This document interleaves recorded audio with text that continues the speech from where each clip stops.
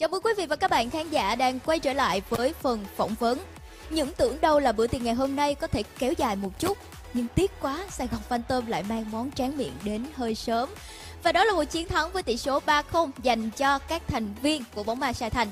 Ngay bây giờ chúng ta hãy cùng nhau làm một màn phỏng vấn với FMVP Thế Giới. Lai Vân, em chào anh Vân ạ. Ờ, hello, hello mọi người.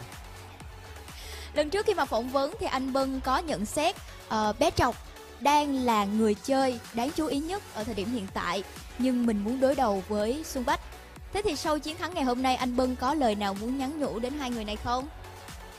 Ờ, em không. Không à. Ờm, thế thì ờ, hãy nhận xét một chút về ờ, trận đấu ngày hôm nay đi. Độ khó của nó nằm ở mức nào? Bây giờ 3-0 thì mình cũng không biết nhận xét độ khó như thế nào.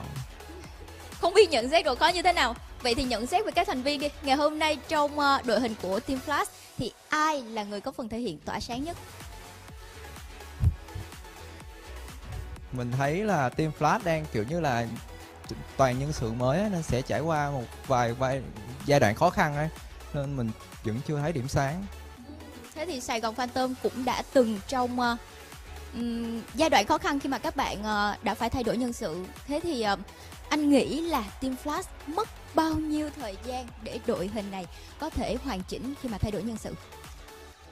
Mình nghĩ là chắc có thể là một mùa hoặc là hai mùa gì đó. Một hoặc hai mùa? Lâu hơn thì sao? Chắc không có. Ờ, Ok, thế thì một ờ, cho đến hai mùa theo Lai Bân là Team Flash có thể ờ, ổn định đội hình. Ngày hôm nay thì các bạn đã mang những con bài khá là lạ vào line up như là Rita hay là Candy Support. Các bạn đã luyện tập những vị tướng này trước hay chưa hay là viết tướng trong một vài phút ngẫu hứng? Dạ thì team mình đã cũng đã luyện tập cái bài này cũng ờ, rất là nhiều lần rồi. Cụ thể là một lần nữa. Nhiều lần rồi, cụ thể là một lần. Chà, nhiều quá Lai Bân nha.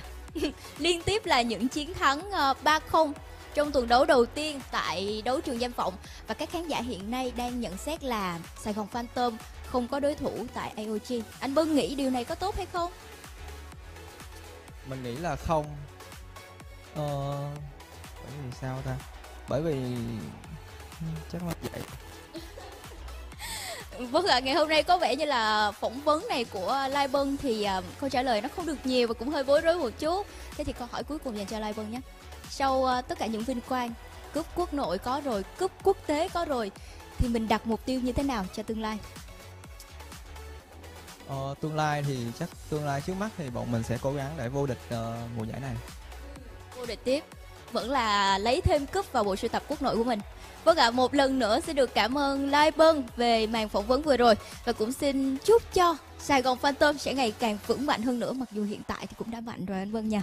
Ờ, và chúng tôi cũng xin chân thành cảm ơn nhãn hàng uh, sữa chua uống tiệt trùng trái cây TH Chu Yogurt đã đồng hành cùng đấu trường danh vọng mùa đông năm 2023 TH True kết tiếp năng lượng lập chiến công và cũng xin chân thành cảm ơn thương hiệu mì ăn liền Hảo Hảo vì đã đồng hành cùng chúng tôi. Hảo Hảo, bùng hảo vị, chiến hảo game.